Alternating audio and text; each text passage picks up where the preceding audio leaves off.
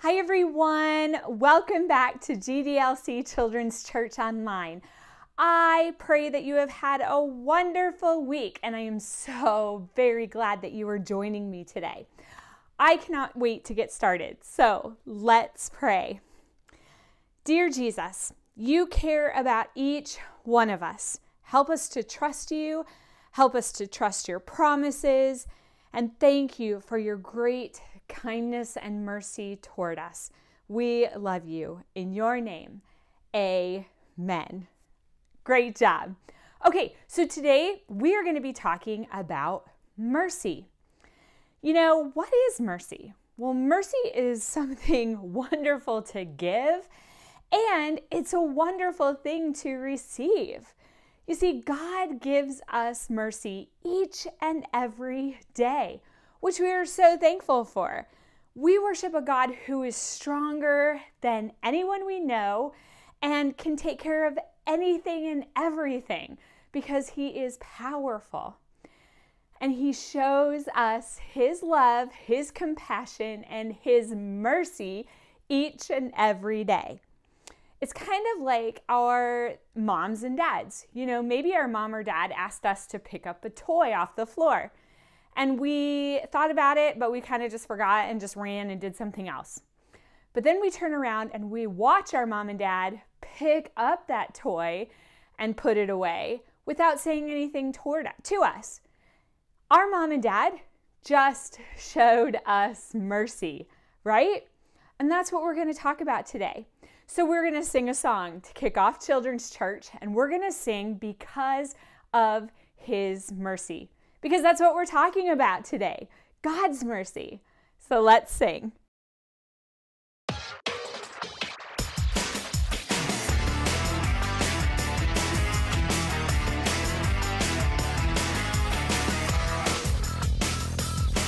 He saved us, not because of the righteous things we had done, but because of His mercy.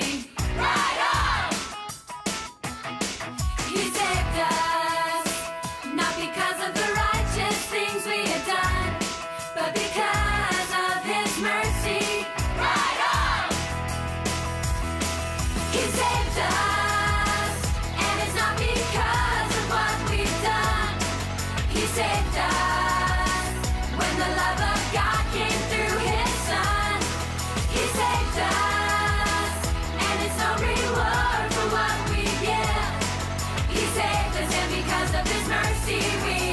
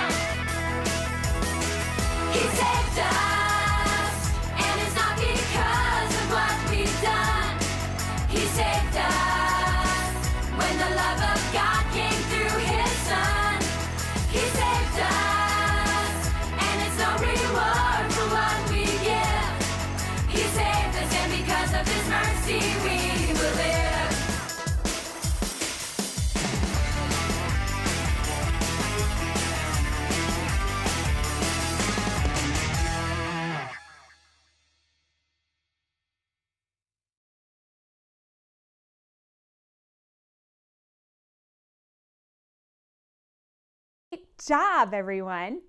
Okay, so we're gonna play just a quick game. Okay, so I need you to stand up. All right, so we're all standing, right? well, I'm gonna ask you a question. And if this has happened to you, sit down. Okay, so first question Have you ever borrowed something from a friend and then broken it or lost it? If you have, sit down. Now I can't see you, but and but you can see me. And I don't have a chair, but that is something that I would sit down with because of course I've had a friend give me something and I've done both. I've accidentally broken something a friend has let me borrow and I've accidentally lost something. And I've had it happen to me too. So I'd be sitting, okay? But if you're still standing, here's the second question Have you ever sneaked candy or cookies when you weren't supposed to? If you've done that, sit down. now, I'm sure we're all sitting with this one because I, if I hadn't gotten the first one, this one would definitely get me. I still sneak candy and cookies when I'm not supposed to. I love those things and I don't care when it's going to ruin a meal. I'd rather have dessert first, right? But really, if you've done that, sit down. All right, third one. If you have ever disobeyed your parents, sit down.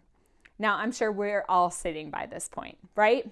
Because, of course, we have not listened to our parents each and every time they've said something. They might have said, hey, clean your room, and we don't. they might, excuse me, they might have said, help with the dishes, and we don't, right? We've disobeyed our parents. Well, all of us have done wrong things, right? But you can stay seated now, okay? but when we do wrong things, we can always count on God to forgive us. And as long as we say we're sorry for them, He forgives us and He shows us His mercy. He, we, he has mercy on us. And He doesn't punish us the way we might deserve, right? Because God is merciful. All right? So we're going to watch this video called Mercy Beat. All right? And so um when in the video there's going to be little segments that say pause the video. Go ahead and pause it when it says to and think about these questions, okay? I want you to think about whether or not the person that you're hearing about deserves mercy or forgiveness or not at all. And so then hit play and listen to the next one. I believe there's five people you're going to hear about. It's a short video, okay? So let's watch the video.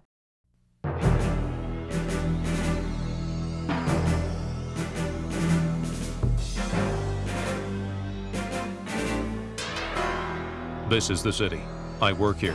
I carry a badge. It was 7:55 p.m., the end of a long grueling day of police work. Just another day, like any other day on the beat. I was at my desk filing reports, and I took a moment to take stock of the day. We arrested five people. Five people who decided to break the law. Here are their stories. This is Bobby Tom Bodine. Mr. Bodine was picked up on a charge of bank robbery. Bobby Tom's son caught his father trying to take $3.73 out of his piggy bank. When confronted by police, Mr. Bodine said he couldn't help himself. He had a Big Mac attack. We wanted to put Mr. Bodine away, away for good. After all, you can't possibly justify stealing money from your own son. But the son refused to press charges. Mr. Bodine was released, a free man, despite the crime he committed.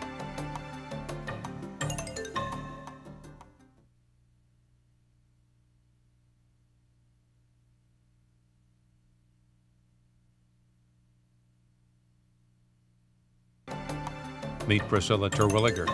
Ms. Williger is a fourth grade teacher brought in on a charge of assigning too much homework.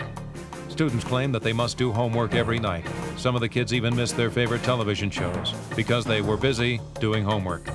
Mr. Williger was put on trial for her crime and was found guilty by a unanimous vote. She was sentenced to write, I will not assign too much homework on the blackboard 100 million times.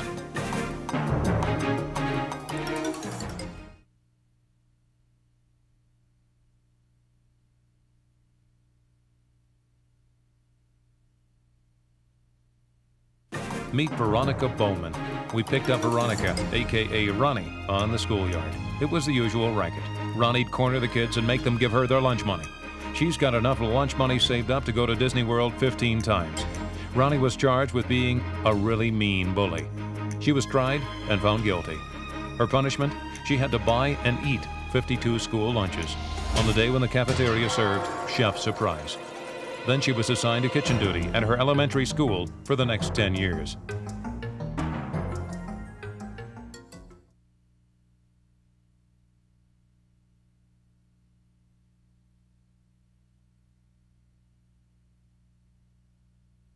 This is Trudy McPherson. She's a quiet grandmother who enjoys growing roses. You never suspect that she's a cold-hearted cat burglar. Yet neighbors claim that Mrs. McPherson has been stealing their cats by luring them with her famous liver fricassee. When we arrived at the perpetrator's house, there were some two dozen cats meowing at her back door.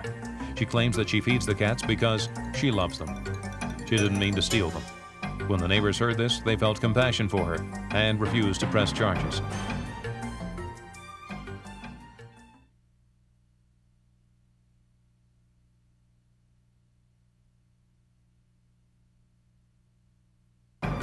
This is Billy Anderson. Billy is an average kid. We were surprised when his parents called us. But when we got to his home, the parents laid it all out. They told us that Billy had been known to miss his bedtime. And just that morning, Billy forgot to do his chores before he went out to play. We had no choice but to run Billy in and throw the book at him. Billy broke the rules. You can't just let that go. But his parents are the ones who will have to decide what to do. What do you think they should do with a son like Billy?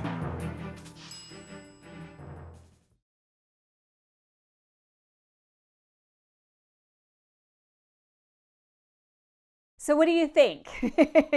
do you think those people deserved mercy or not? Wow, you know, with God, we are so grateful that He gives us His mercy and His forgiveness each and every day. Because do we deserve His mercy? We do not. We are sinful people, right?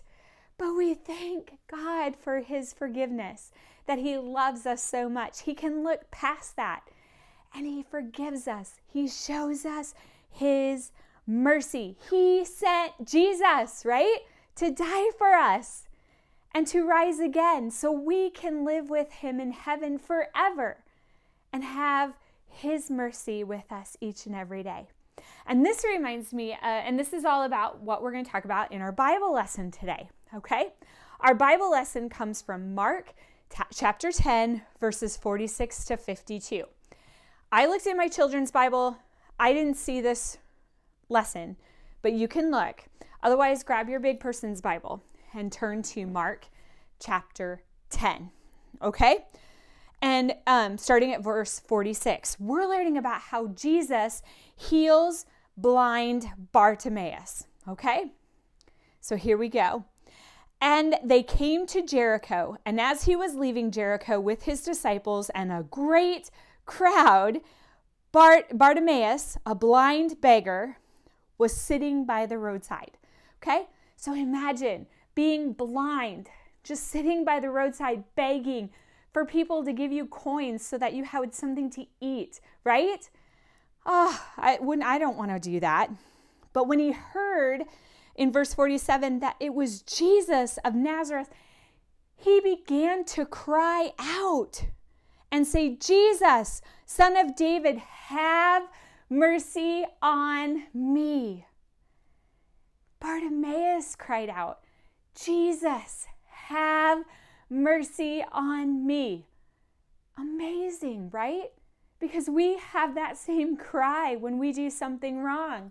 Jesus, forgive me, have mercy on me.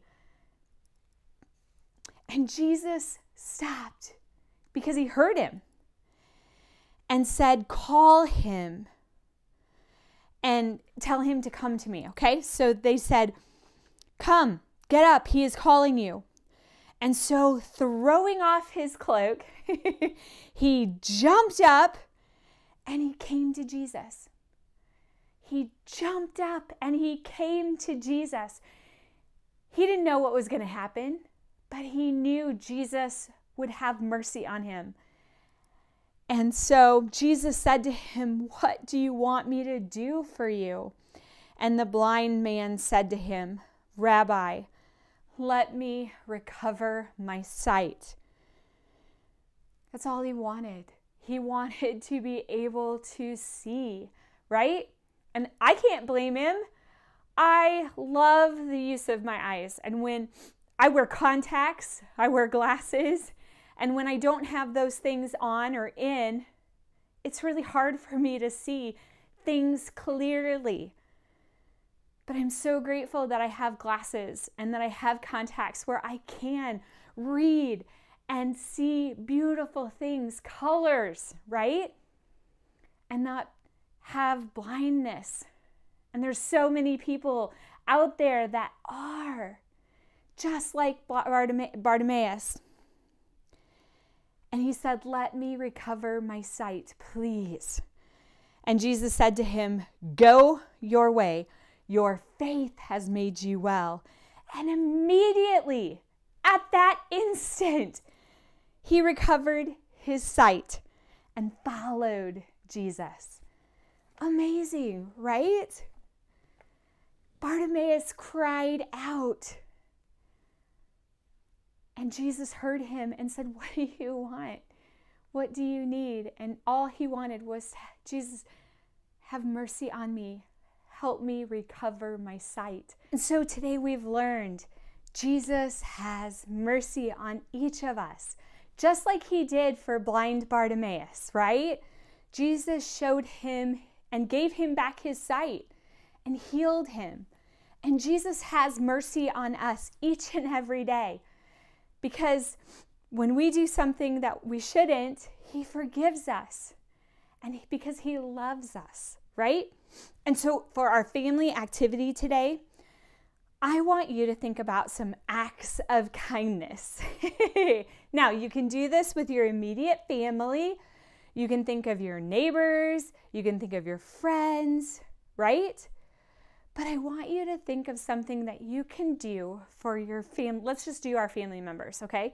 You can also think about your friends and your neighbors. But think about something that you can do to show kindness, to show mercy on your family members. Maybe you've made a mess of your room and you know your mom or dad are going to say, clean your room. Maybe before they even say it, you just do that. And maybe when you get up in the morning, you just make your bed and show mercy on your mom so she doesn't have to. And maybe you pick up your towels after you shower or you take a bath so your dad doesn't have to do that, right? Show kindness, show mercy. What can you do for your family members that would show kindness? Okay?